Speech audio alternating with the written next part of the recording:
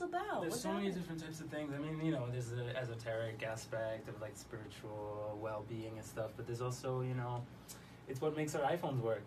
Uh, quartz crystal under pressure creates like electricity pretty much, and just powers our laptops and our things like that.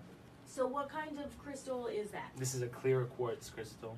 And do you wear it as a talisman? Does it have Um, properties? it does have properties, you know, but I, I, for me, it was more of an intuitive kind of obsession as a kid, growing up, and the, they're fairies in that in that universe, but it, they're elves, really. Mhm. You know, down to it, it's an elf. So, so many inspirations since I was a kid. You know, like obviously this crystal thing helps because they're in that world. They use that technology.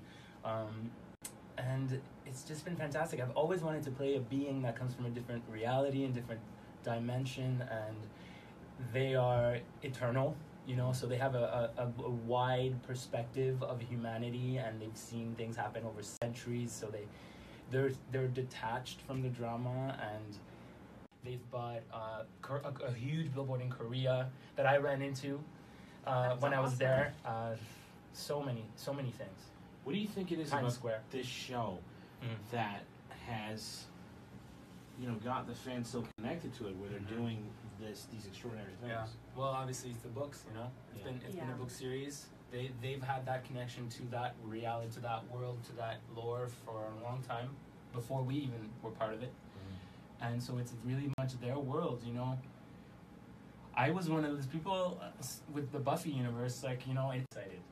Tell me that. I'm so excited. That's you know, my whole life I've been kind of waiting for the time when I could do this and not really knowing how I was going to form it. But now everything's clear, and I've been planning for for a few months. Uh, everything, the whole plan, the whole the whole look, the whole everything, and you know, doing it. It's going to be released in June, and the fans are a huge part of it. It's dedicated to the fandom, actually. Love letters to a fandom. It's called Love Letters to a Fandom. Exactly. Yeah, love letter to a fandom. Um, you know, to thank them, they've changed my life, and you know, because of them, I travel the, the globe now, and um, they've just showed such support. And I want to continue this connection because even though the show's ending, the connection we have is not ending. Mhm. And I don't want people to sort of go into despair. I want them to look forward to the future and to honor the past. And so I've created, you know, sort of a segue into the future.